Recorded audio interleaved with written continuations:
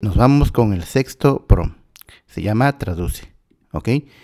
Entonces aquí la sintaxis es traduce en el idioma que quieres.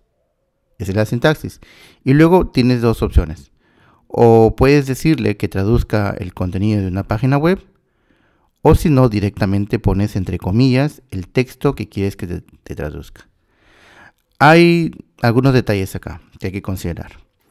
El primero es que si tú quieres traducir una página web, pues no es muy práctico porque ya lo hace el mismo navegador. Si tú estás aquí, por ejemplo, en ese artículo, que es de donde he sacado el ejemplo, le haces anti-click, le dices acá traducir al español y listo. Entonces no tienes por qué utilizar inteligencia artificial para esto.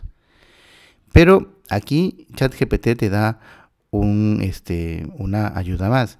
Es que no solamente te traduce, sino te resume y además te interpreta. O sea, no vas a encontrar una traducción literal. Por tanto, de aquí cuando hagamos la prueba, te vas a dar cuenta de ello. En cambio, si tú directamente eh, haces la traducción este, utilizando el texto exacto que quieres que traduzca, pues ahí sí lo traduces tal cual. ¿Ok? Vamos a hacer también la comparación con Google Traductor a ver qué diferencia hay. ¿Ok? Vamos entonces a la práctica. Eh, yo ya hice este ejercicio, ¿sí? Entonces acá le puse traduce en español el contenido de esta página web y la página es esta que ves acá.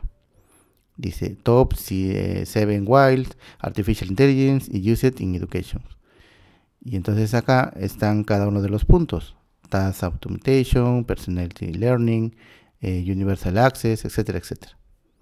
Entonces cuando hice esta traducción, recuerda, que este ChatGPT no traduce literalmente si tú le indicas una página web, sino te lo resume e interpreta. Entonces aquí me dice, ¿no? Presenta un artículo que enumera las siete principales formas en que se utiliza la inteligencia artificial en educación. Y aquí me pone los puntos y no coinciden. Por ejemplo, acá dice tutoría inteligente. Vamos a ver acá, Task Automation. Tareas automatizadas. O sea, no coincide. Significa que me está resumiendo, me está interpretando y en base a eso pues está mostrándome la información. ¿Ok? Entonces si tú quieres ese resultado, pues bien. Si no quieres ese resultado, entonces mejor te conviene indicarle directamente el texto que quieres que te traduzca, ¿verdad? Ahora sí, eh, vamos a terminar con ese ejercicio. Entonces acá, mira, me ha hecho una interpretación, me ha hecho un resumen y al final me hace una conclusión. Entonces, sí, efectivamente, varias de las cosas que dicen acá tienen mucha razón, es lo correcto, pero aquí no coincide la traducción de este, cada uno de los beneficios que se muestran acá. ¿Ok? Entonces, eso hay que tenerlo en cuenta.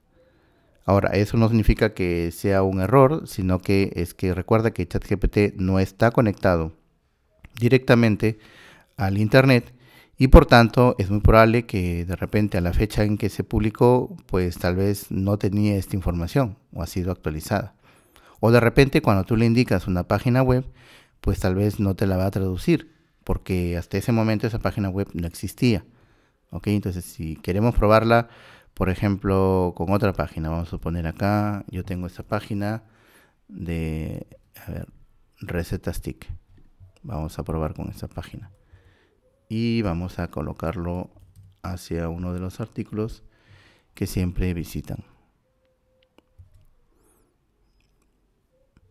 Vamos a ver acá, por ejemplo, este artículo. 10 buscadores. Vamos a hacer que lo traduzca al inglés. Entonces le voy a dar acá.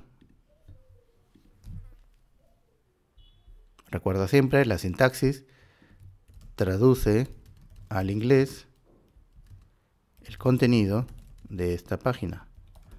Así, tal cual tienes que colocarlo. Porque si le dices traduce solamente, traduce esta página, pues te va a traducir la dirección web. O sea, cada una de las palabras de acá, no lo que contiene. Por eso tiene que ser así. Entonces le di generar y vamos a ver qué resultado me arroja. Eh, recuerda que esto te va a resumir, te va a interpretar, no va a ser una traducción literal como lo hacen otros traductores. Por eso es que eh, tiene una ventaja, ¿no?